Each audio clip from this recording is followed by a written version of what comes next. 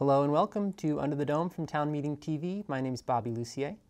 Under the Dome is your community's uh, source of information for the Vermont legislature. And with the legislative session having wrapped up a couple of months ago, we are now talking with uh, the leaders of the Vermont legislature here in September to talk a little bit about what was accomplished this past session and what's coming up in 2024. So Last week, we spoke with President Pro Tem of the Senate, Phil Baruth, and this week we're joined by Speaker Jill Krowinski. Thank you so much, Speaker, for joining us. Yes, thanks for having me. Awesome. So, uh, this was your second session as Speaker of the House, is that right? My second biennium. Second biennium. Okay, right. And but this was your first biennium fully in person. Yes, we started in the chamber the first day, everyone together. Right. Okay. Yes. So how does that change the job? How is how does it feel to be you know, to, to be legislating in person as opposed to over Zoom the past couple of years? Well, I will say that COVID really made us appreciate more the ability to govern in person together. Uh, I will say that uh, governing on Zoom, we had to do it. It was important for public health and safety for us to do that.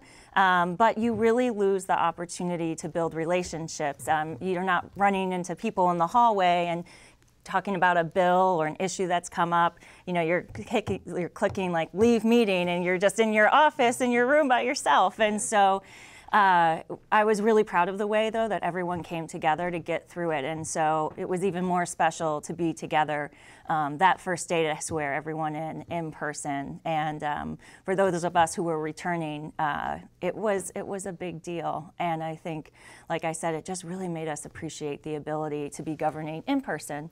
And there are things that we took away from um, legislating on, on Zoom that we kept because it increased access to, to the people um, to, to come and participate in the building. So before COVID, you know, if you wanted to hear a committee hearing, you had to go and request um, it from Legislative Council, and you would be mailed a thumb drive.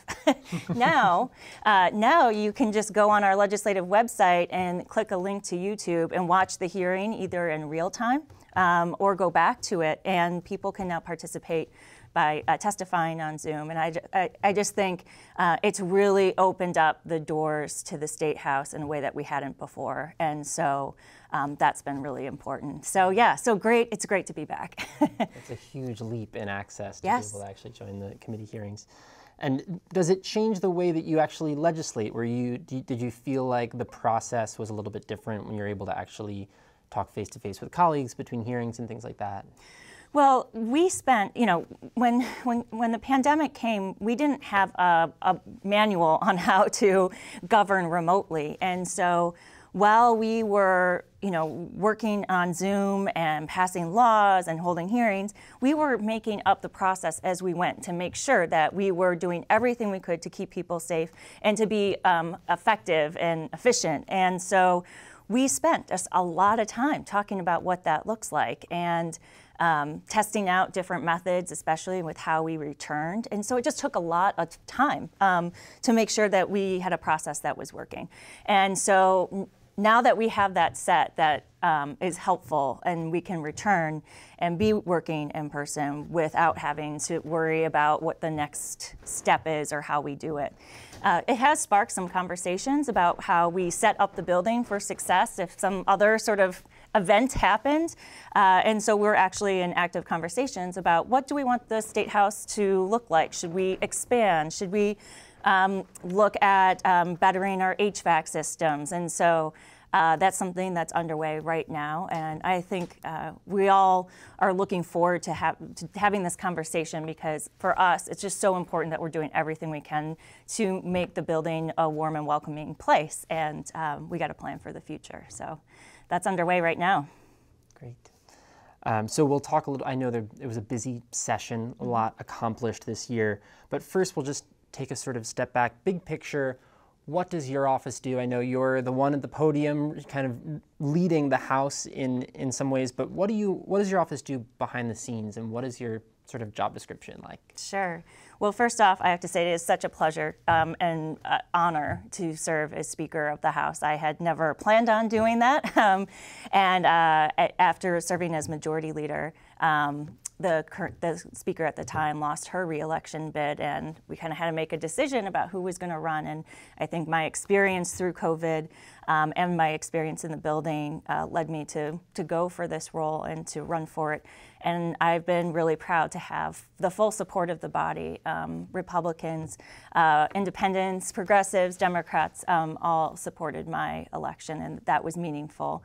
Uh, this, the office of the speaker is just no two days are ever alike. It's a, it's a fantastic job where we manage the flow of bills between the House and the Senate. Uh, I preside over the House chamber. Uh, I'm the spokesperson for the House of Representatives. I am the lead negotiator with um, and communicator with the administration. And um, there are things that just happen day to day in the building that come up that need to be addressed. I work closely with our legislative council on bills, um, our joint fiscal office on understanding the money behind the bills, uh, and work with our sergeant at arms to make sure that the building is safe and things are running um, efficiently. But it's great. I have to say that. Uh, there are these moments that we have that are just so special. For example, we had um, the Girl Scouts come and visit, and it was great to spend time with them and take them to the podium. And I made sure every single girl stood at that podium and was like, You could be here someday. And those moments, um, whether it's talking to young girls about what they could do and what's possible, or gaveling out after passing a historic housing bill or child care bill, is um, pretty incredible. And uh, I also see it as my job is to work really hard to bring people together and to get things done. So you must work pretty closely with um, the folks on the Senate side. So the mm-hmm. House is one half of things, and the Senate um, is is the other. So we spoke with President Pro Tem Phil Baruth last week and talked with him about some of his reflections on the session. What does your collaboration with Senator Baruth's office look like, and how do you, yeah, what, what does that look like to be working alongside the Senate, recognizing that it's a different chamber with different different voting priorities sometimes? Yeah, absolutely. Well, uh, it's it's been great to work with Senator Baruth. Um, before that, I worked with Senator Balint, and so I had some experience of how to work with the other chamber and to work collaboratively to get things done. Uh, and so that means uh, many, many different things. It's uh, communicating about legislation and uh, figuring out the path for for our high top priority bills. It's how we collaborate with bringing our members together. Uh, one thing that we've talked about doing more is holding more joint hearings, um, which I think is really important and shows that we're working together and hearing the same information at the same time. Uh, we work together with communicating and uh, negotiating with the administration, and that's really important. And I think that it's uh, it's up to us to set a good tone and show um, how we can work together. Uh, the the governing process is set up for some tension uh, between the House and the Senate. That's not unique to our state. Every state um, talks about that. Uh, I was actually just at a conference uh, with all the um, House speakers, uh, and it was a topic that came up: is how to work uh, well, not only across the aisle but across chambers. Uh, and I think we've done a good job in, in living up to that expectation to do that. And I think communication is just key, just like with any job, uh, to make sure that we're on the same page and under listening um, as to what the concerns are and how we work work together. Right, right. Yeah. So there's collaboration with the other chamber, and then there's also collaboration with the administration, right. and that. I mean, this was a pretty historic session in terms of the amount of vetoes that Governor Scott signed. What does your collaboration with the governor's office look like? Are you how often are you kind of meeting with him in his office and you know speaking with them about the work that you're doing throughout the session and and off session? Yeah, absolutely. Uh, well, we meet on a regular basis when we're in session, and again, I think communication is key.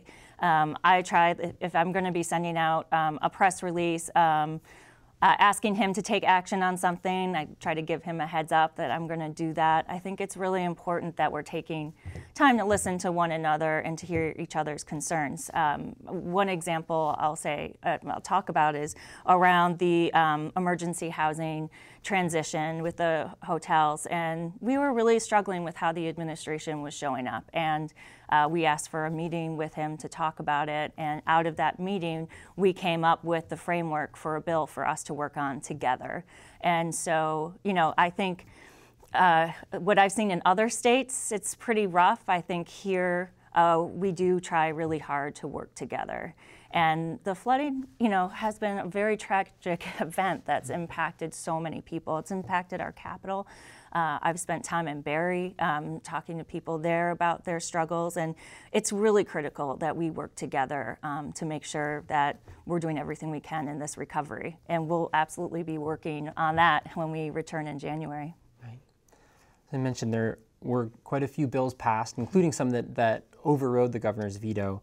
Uh, do you want to talk about just a couple of the bills that you're really proud of that, that made it out of this session that'll have an impact on Vermont communities? Absolutely. Well, you know, before the pandemic happened, we knew housing was an issue, especially affordable housing in this state. And then when COVID came, it just made the problem even worse. And now we have the flooding. so um, housing has been and continues to be a top priority for us. Uh, last legislative session, we passed an epic housing bill that really invested in affordable housing, uh, incentivized building um, in downtowns with different types of, you know, duplexes, triplexes. We want to discourage sprawl and encourage building in downtowns. Uh, and we invested money for first time homebuyers and really laser focused on how we can do better with affordable housing. Um, it, you know, right now it's so costly to build, right? The, the cost of supplies, uh, the supply chain has been very challenging for us. Um, so we're slowly seeing these units come online. And I was just in Morrisville a couple weeks ago, and there were multiple buildings um, and homes uh, in different corners of the town uh, coming online and opening up units. And so it's exciting to see it um, out across Vermont happening, um, but we have to do more. So we'll be tackling that when we return in January. Um, our child care bill um, was also um, the product of years of work to get to the point where we can invest in our childcare providers, create more slots, and help families afford it. You know, when I talk to small businesses across the state, they're like, the two things we have challenges with is housing and childcare. You know, we can't um, hire people because they can't find places to live, or when the when an employee has a child, they can't find access to childcare, so they leave and stay home. People shouldn't have to choose between their job and taking care of a child. We can do better, and so I'm really proud of our child care bill. And then we did some really interesting work around workforce development. Um, so for the last several years, we've been investing money into grants and forgivable loans around uh, critical careers, uh, like creating uh, more jobs for electricians, carpenters, nurses. Um, we have a nursing shortage in our state that is uh, very, very much a big problem. And so by investing in these careers, people are getting job training and we're creating workers for, for the, the businesses out there that need it. So I think that those connections have been really helpful in supporting our working families and helping our state thrive. Uh, I'm uh, going to be heading up to Newport soon for a project that was born out of a legislative um, priority of ours. We are we put money into training programs for uh, tech ed, and there are students that are learning how to build and rehab houses. They got money through one of our state programs to buy uh, a vacant home to um, rebuild it. And so we are seeing a home that's going to come back online, um, and I think they're going to actually make it a duplex, even maybe. So possibly two homes online while they're getting trained, and they're going to be ready um, to get hired uh, after with the people who are helping to run the training. And so it's just great when you see um, an idea that was formed in a committee room and then see it out in a community actually happening and, and people um, just really in, thriving on the programs. And so that's been great. Yeah. You mentioned the legislature's laser focus on housing. I want to ask quickly about the motel housing program and how that yep. progressed. So, so this was a an, this was a program that was funded by federal COVID funding right yep. during the pandemic to house as many as 3,000 over 3,000 people in hotels and motels throughout the state. And then that federal funding dried up because it was COVID related, and the program was set to expire this mm-hmm. summer. Um, at the beginning of the session, it wasn't. It didn't seem like something that was, you know, prioritized at the top of the list in terms of legislators or the governor saying that they wanted to extend this program. But then, towards the end of the session, there was this big push to um, to make sure that these people were not you know mass evicted from from the motels. And when all was said and done, a form of the program was extended. About 2,100 people were allowed to stay in motels until next April, is um, what currently is passed, and, and the state has now taken on the, the expenses for that program. Is that correct? Yeah, uh, some of it. okay, great. Yeah, I know. Please, definitely. Uh, I mean, I just I think the question is just yeah. well, just what sort of walk us through yeah. what happened, like how you know there sure. it wasn't really on the radar in the beginning of the session. It seemed, and then it kind of um, gained traction, and there was sure. this pivot to, to sure. put together a bill at the very yeah. end. So we had many programs funded by the federal government during, during the pandemic to keep people healthy and safe. Mm-hmm. Uh, this motel, uh, I don't call it a program because literally they just sent a check to cover the housing for, for the motel. So there wasn't any services really provided. It depended where you lived, on what kind of supports you got.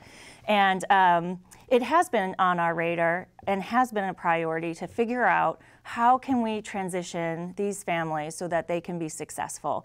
Um, I think it's a disservice just to keep people in hotels without any sort of wraparound services, um, and then you know, not to have anything after uh, is a huge problem. And so we worked throughout the session to find ways to transition families so that they can go into housing that has supports around it. Uh, and that's where the tension was and continues to be, is because there's not housing available. and so communities are coming up with different solutions and how to support people um, exiting uh, from the hotels, but also we do have a larger homelessness issue in our state. And so I think another thing that was important to us is that we weren't just focused on this population, but also the wider conversation of how we can support um, unhoused um, Vermonters and, and to help them find a path to success. So during the session, um, even last year, we were having this conversation of what we can do. And um, and uh, there were lots of different ideas and um, debates around how we do that. And I think people, and all uh, everyone in general wants to support this population and find a way forward. And I think there are lots of ideas, and that was the tension of how we do that. Um, I think we landed with a good compromise with the administration, but um, I continue to be concerned about how this transition is happening. Um, I, you know, we've been asking the administration for updates on um, on the different programs that we've been funding. We haven't been getting a lot of information. So our Joint Fiscal Committee has been doing a lot of oversight um, and I encourage people who are interested in this topic to watch and to get information there. But we have a we have a path, and I just have to say, our community providers who have been out there working in the field um, have been incredible, and I, they were burnt out already from COVID, and then we have um, you know this issue around supporting um, our unhoused, and then the flooding, and so. Uh, we just have incredible staff across the state who are working so hard uh, to help. And so if you ever have an opportunity to see them and thank them, please do, because it's so important. Absolutely. Yeah. And so you mentioned we, we have this path. We also have, it seems like another sort of deadline for the program in mm-hmm. April. Mm-hmm. What's the, what's, can you say a little bit more about the path forward? After April, do you see the, do you foresee the program being extended again or how, where do you see these folks finding sure. housing after the program ends? Or, right. Yeah. So that's what we're doing now. Is we have a process laid out so that um, community providers have access to different programs available to help this population. In the meantime, while we're seeing what's working and what's not working out in the field, uh, we are prepping for January to really look at how can we um, do more prevention and making sure that people are able to stay in their homes so that we can prevent people from being unhoused. So there's a model called Housing First. Um, Housing First is making sure that people have a home and receive services. We have it happening in some corners of our state, but it's not statewide. Um, this has been a program used in different states, and people have found success with it. And so our question is how can we make it, what's the Vermont version of that look like, and how can we roll that out? So we're looking at ways to create more affordable housing and looking at extending this program in some way. Um, our general assistance program that helps families in need uh, really needs to be modernized. And I think that we can do a lot um, in modernizing that program to help families uh, be on a better foot for success. Uh, so those are some of the examples of what we're working on to prepare for January um, when we look at how we can do better around supporting our unhoused Vermonters. We're, and we'll continue to monitor, you know, the situation with the transition and see, again, um, you know, it's a lot of people at one time when we don't have a lot of housing already. And so making sure that um, we're using all of our tools in the toolbox to, to help them find success. Right. And Senator Baruth last week sort of mentioned that there might, you know, if there's not a clear solution in place for, for many of these folks come April, the program could be extended. Do you see that also being on the table? Everything's on the table. Um, I think that, and there's things that we don't know about that could happen. It, like we could have another. I really hope this doesn't happen, but we could have another outbreak um, that causes us to have to go back to um, being extra safe and being uh, governing online or. Um, making sure that everyone's housed, right? Like, there's mm-hmm. just uh, it, everything is in flux right now. Uh, but uh, I, when it comes to this program and other programs to help people, um, we will continue to monitor it. And if it needs to be extended or there's another way that we come up with, like, we have to do that. Mm-hmm. Mm-hmm. And just on the funding side of things, this is seems to be a pretty expensive approach. It's a, paying motel owners $140 a night for each room. Is that what's, what's That's about right. So in the legislation that we passed, so the administration did have the ability to negotiate rates with um, hotels. We mm-hmm. didn't see that happening to the to the extent that we wanted. So we did put that in our bill at the end to give them the authority to do that. Um, I have not heard if they were successful in negotiating lower rates. I know that they were working on it, um, but it is expensive, and that's why um, there was tension to say like is this the mm-hmm. best way to house people yeah. um, and if it's not what are the alternatives that are good for them that mm-hmm. provide services and aren't as costly yeah is there is there any you know where might um, other folks in the vermont community see the impact of extending this program and their taxes and their finances you know, as, as you pass a bill to foot the bill for this this program that was covered by federal funds? Right. Well, we are um, looking at different ways to fund these programs next session. I think that modernizing our general assistance program and looking at different ways to house people will make it more affordable for Vermonters across the state. Um, for now, we've said that this is a priority and that uh, it's important that we're doing everything we can to house the, to house um, people who need it and try to get them the support. So I really see us in a transition right now. Um, but I, you know, housing has just always in recent times been a struggle for us. And so, again, that's why it remains a priority, and we'll be doing more work this session that I think will make it better. Right. I want to shift to a sort of related subject, which is the overdose crisis. So, mm-hmm. at least in Burlington and, and throughout the state, there's been a lot of discourse about both public safety and um, the increase in overdoses and overdose deaths in the state. You live in Burlington. I mm-hmm. also live in Burlington. I live on Elmwood. And I've seen a huge increase just this summer in um, drug use on the streets and property theft and um, I've also seen, you know, we've seen the data. There's an unprecedented level of overdose deaths on the streets this year, and so.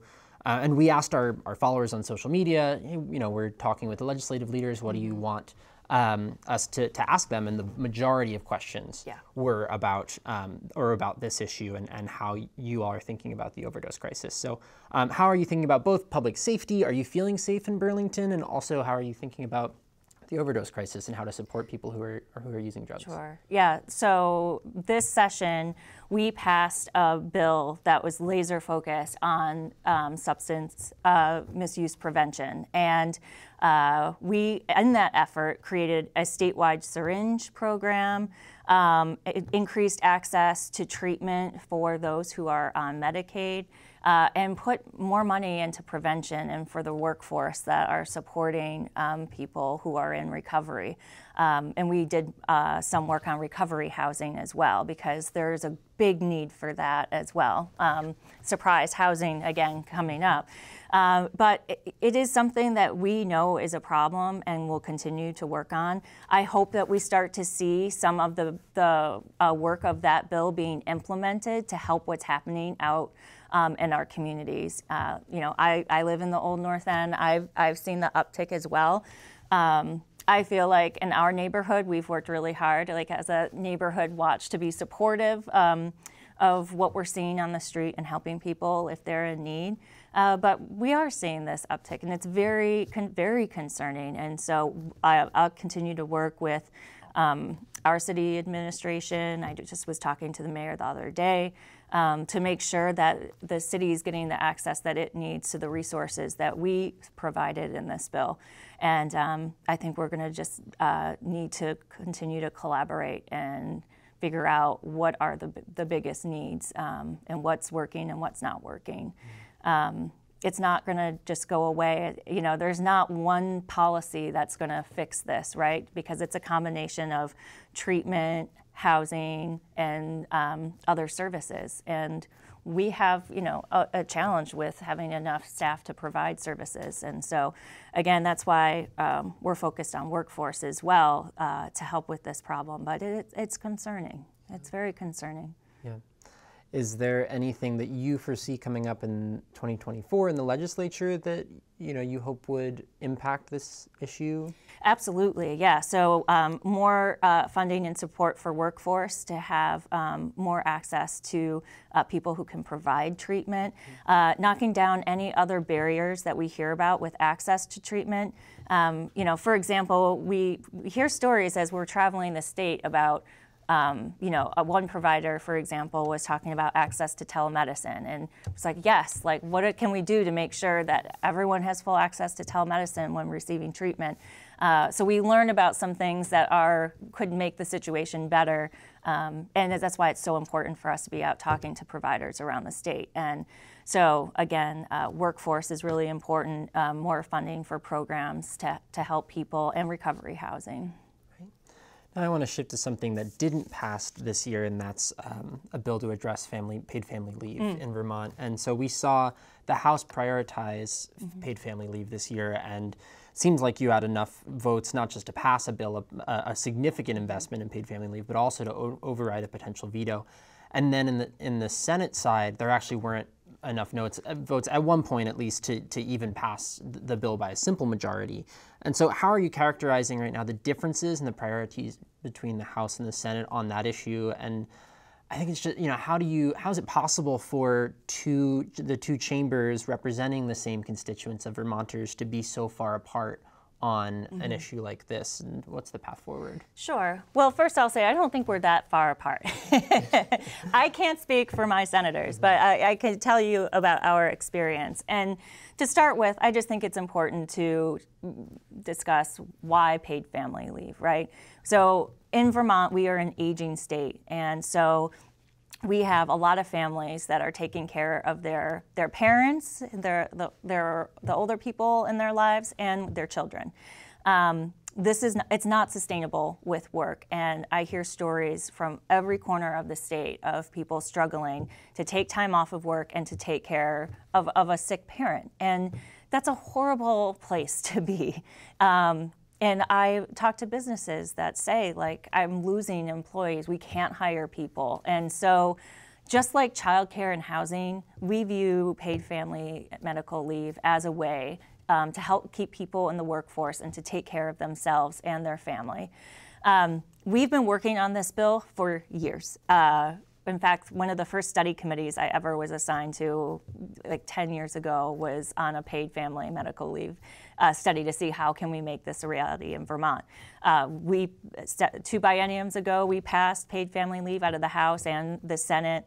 Um, the governor vetoed it, so now we're coming back to take another um, go at getting this across the finish line. Uh, I think that in general, people support the concept. It's how you pay for it, mm-hmm. and I think and that's just so many issues that we talk about is how is it funded, and so.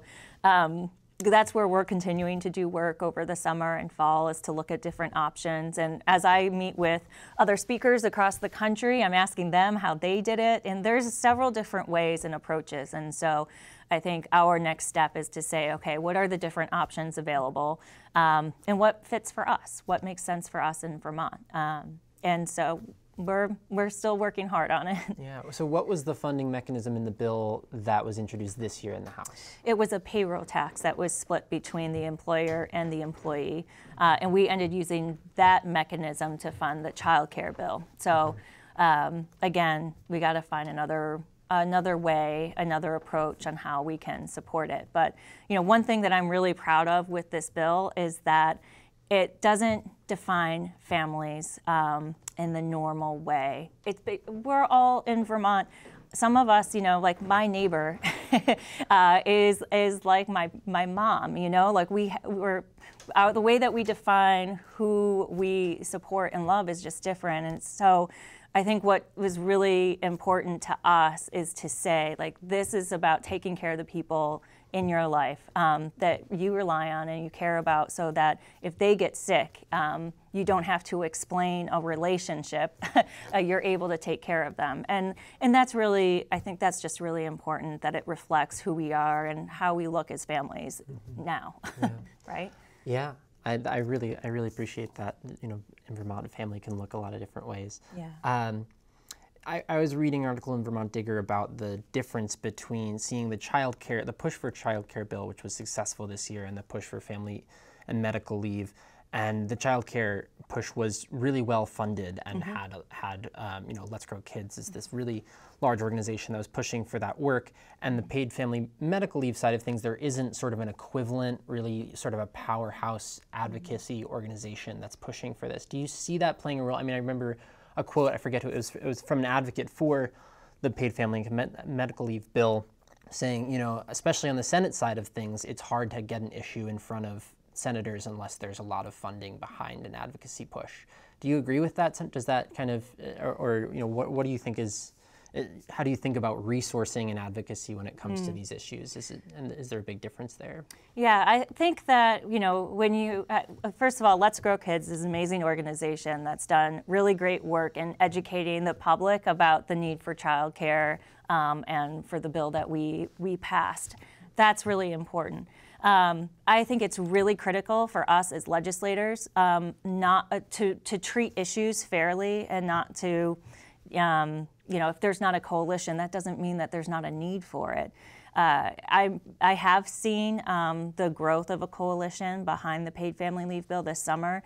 Um, AARP has taken a greater role and interest in this, which is fantastic. So I think that there is work being done as part of a coalition, but it's important that um, we, we treat all these issues equally and, and give um, these topics the, the time um, that, they, that they need. And like I said, you know, we've passed this before. Uh, this isn't the first time. And so I think that um, the coalition that was there to support it the first time around um, has changed and people have left. And, you know, it, it's an evolving group. But at the end of the day, um, we need to take what our constituents um, ask us for and ask for help for and act on that. And that's what's important. Right. I want to shift now to talking about the flooding from this mm-hmm. summer. So it looks like at least 4,000, over 4,000 homes have been damaged by the flooding, and many small businesses are struggling to reopen, and mm-hmm. some are, are, having to close their doors. So you just talk a little bit about how the state is responding to the, the flooding damage and what does recovery look like, and are there resources actually there to meet the need that we're seeing right now? Yes, yes, absolutely. So I have to say that FEMA has been incredible in helping our communities across the state who've been impacted by the floods.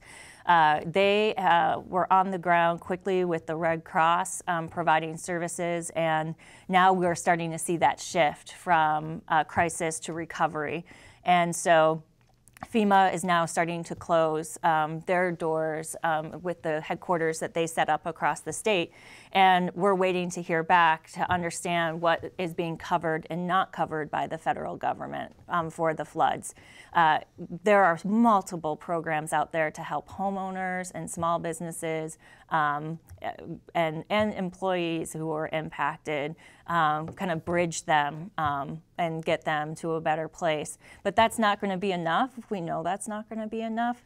So um, another thing that uh, the federal government uh, recently announced was that we could use ARPA funds in uh, recovery efforts. Um, for, so if it's um, whether it's fires or flooding, um, that we could use those funds. That's new and that's super helpful for us. So right now we're gathering information about what the what the needs are and we'll have a better understanding when we come back in January where the gaps are with the federal funding and with ARPA um, and what state dollars will be needed. And we have to expect that flooding events like this will continue to happen as the climate continues to warm. So how is the legislature thinking about climate resilience in the state yes. and making this recovery process um, easier and avoiding, you know, uh, folks living in floodplains who are devastated over and over by these, these flooding events. Um, you know, how is the legislature thinking about climate resilience right now? Absolutely. So we are working on legislation on this very topic. I'm very excited about it.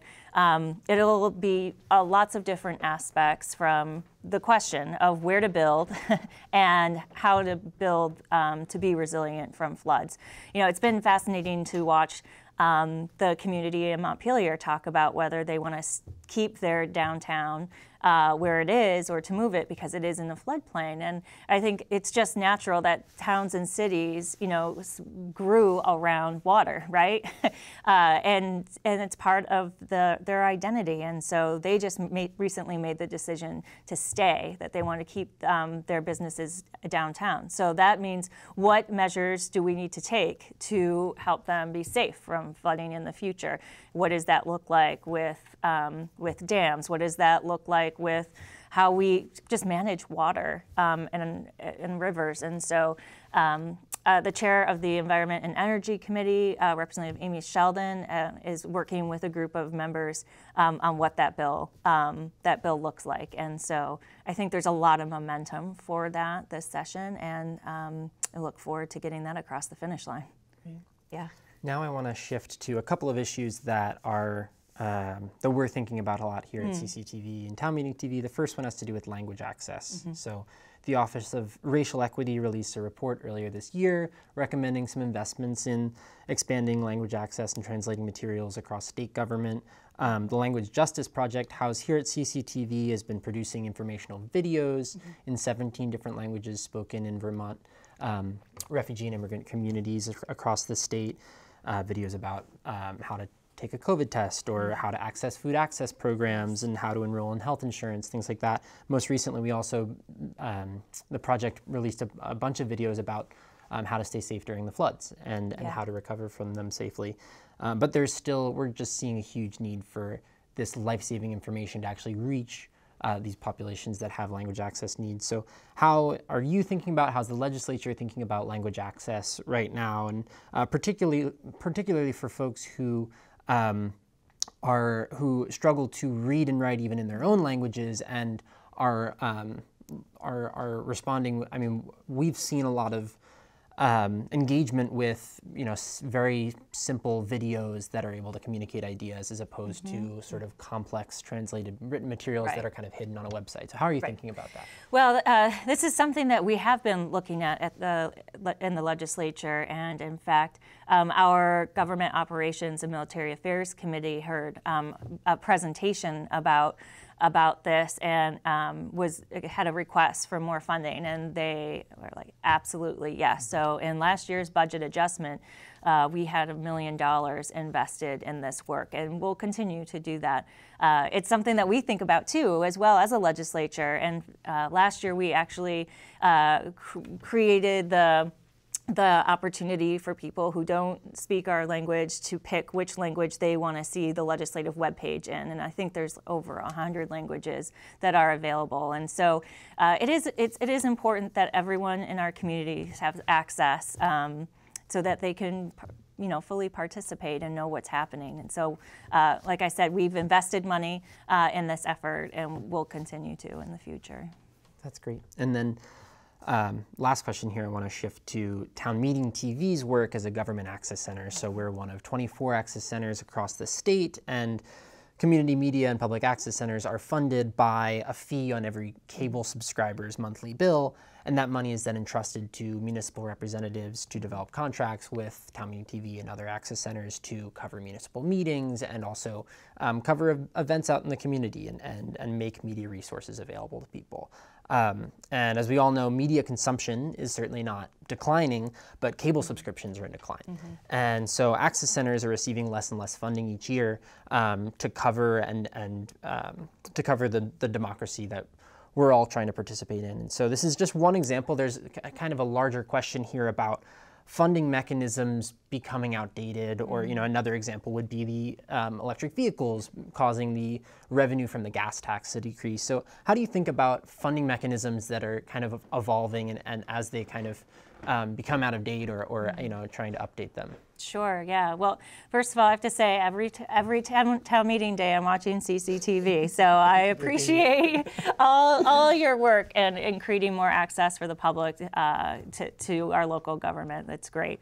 Uh, this has been an ongoing conversation that we've been having. Uh, I, I sat down many times with Lauren Glenn to talk about how we can um, do a better job to support. Um, local media, and I know we're, we're actually going to be meeting sometime soon to talk about it. So uh, I, I, think it is important for us to be looking at how we modernize, how we fund things, and that's not a new conversation. Like you mentioned, electronic vehicles, and mm-hmm. there's um, many examples of places where we're taking time to really look at how can we update this to match what's happening uh, in our communities right now. And so I think uh, how, how we fund uh, public access television um, and other things is, is something that we have to do and will continue to do. Uh, I don't, you know, we don't have an answer right now. I think that we need to have a lot more testimony on it and hear from Vermonters about how they want um, to, to support this work. And so uh, we'll be we'll be talking about that in January. Awesome. And yeah. we have a couple minutes left. Is there anything that we didn't touch on that you want to make sure that you mention here? Sure. Uh, a couple of things that uh, didn't make the, the, headlines in a big way um, that I think are important to Vermonters. Um, so we have we talked a little bit about mental health. Um, but we have a crisis on our hands with suicide in our state. Um, we have one of the highest rates of suicide in the country, and over the last couple of years, our numbers have been steadily going up, and that's unacceptable. Uh, we're failing uh, our, our people. And so we had a bill this last session that looked at how can we um, have longer term uh, protections and support for people who are in crisis in short term. The short term bill is what we call our suicide prevention bill that had a waiting period to buy guns. Um, it expanded our extreme risk protection order law so that people had greater access to say this person is, is not safe to have a gun, um, and, and uh, did some provisions around uh, safe storage. Um, we've passed waiting periods several times, and the governor had vetoed them. Uh, but this year, we were all in um, on making sure that we got this across the finish line because it, we can't wait any longer. Uh, a 72 hour waiting period uh, shows that we can save lives. And I know it was controversial, but I have to say, we had the support at the end. Um, over 100 members supported this bill. And it went into effect um, beginning of July. And in August, we got a text message. Uh, someone, on, a member, uh, got a text message that said, I just want you to know that it worked. And that a young man in crisis tried to buy a gun and couldn't. And he is alive today because of this bill. And so um, that's so meaningful. Uh, it's, it, we don't often hear when something's working, we hear about when it's not working. And so to know that this bill is already saving lives is huge. Yeah. yeah. yeah. Wow. Um, Speaker of the House, Jill Krowinski, thank you so much for joining us and talking about all that you're working on. We really appreciate it. Thank you. Awesome. I really appreciate the opportunity. Awesome. And thank you for tuning in to Under the Dome from Town Meeting TV. You can find this program as well as our interview with Senator uh, Phil Baruth on our website, uh, ch17.tv, or on the Town Meeting TV YouTube channel. Thanks for tuning in. Have a great day.